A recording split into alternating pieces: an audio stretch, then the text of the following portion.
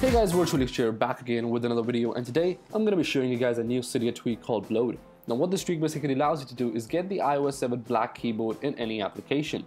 So if you go into the settings app right here and then scroll down till we find Bloard, the only thing we have in here is an enable or disable kill switch so you can enable or disable the tweak without respringing your device. So if I go back to my home screen right here and then open up the notes application and then tap on new, as you guys can see from the video that I now have the black iOS 7 keyboard. Now this tweak does work across all applications so if I go ahead and open up the reminders app and then tap on a new reminder, I have the black iOS 7 keyboard here too.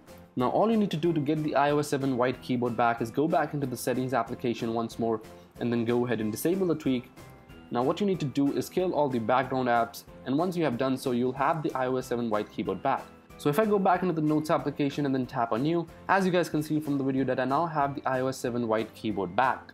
So that's pretty much it guys, I hope you liked this video and if you did, make sure you hit the like button down below and also make sure to subscribe to the channel if you're new or if you want to see more content like this. I will catch you all in the next one. Peace.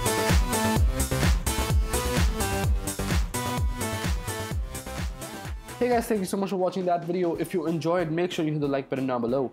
Also, if you are sticking around for a moment, make sure you check out my video on the iOS 7 Cydia tweak called Centrex, which allows you to get the iOS 8 control center on iOS 7. Also, make sure to follow me on Twitter and Instagram. All those links will be in the description down below, as well as on the screen right now with an annotation.